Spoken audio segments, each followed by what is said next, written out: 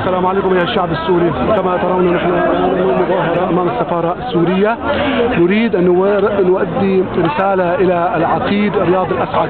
أيها العقيد المطارات في سوريا يجب أن تمزق دواليب الطيارات وتعطل الطائرات المدنية والعسكرية إذا أمكن. لأن بشار يجيب الإيرانيين في الطائرات والسلاح يجيبوا من إيران لسوريا لكي يدعم نظامه الفاسد. بعدين مدرجات في المطارات ضع عليها خشب أغصان أشجار ضع عليها أحجار وصخور واشياء وحتى خلى إذا صار اشتباكات بين الفرقه الرابعة وبين ال- الحرس الجمهوري من جهة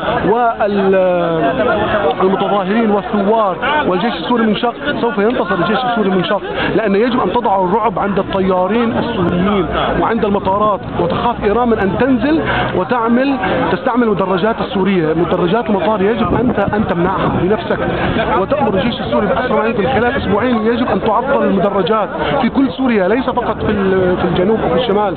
المطارات هي سوف تكون نقطة الانتصار أو فشل الثورة. إذا لا تسيطر على المطارات سوف تفشل الثورة. وسوف يقبض عليك بشار وعلى الجيش السوري الحر.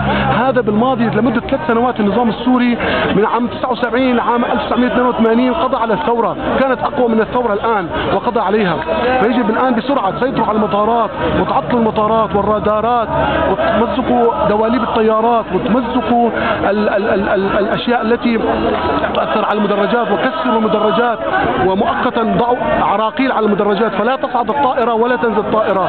وأرجوكم أن تهتموا بهذا الموضوع. لا تعتمدوا على حظر جوي من خارج. روسيا تمنع الحظر الجوي لأن روسيا محتلة سوريا وإيران محتلة سوريا. وأنتم الآن لازم تفكروا بتحرير سوريا من الاحتلال الإيراني والاحتلال الروسي. والسلام عليكم ورحمة الله وبركاته. ولا تنسوا الصواريخ في جبل قاسيون. عطلوا البطاريات. تبع الصواريخ في جبل قاسيون وجبال في الشمال.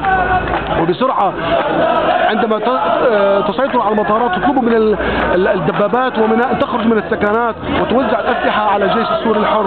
والسلام عليكم ورحمة الله.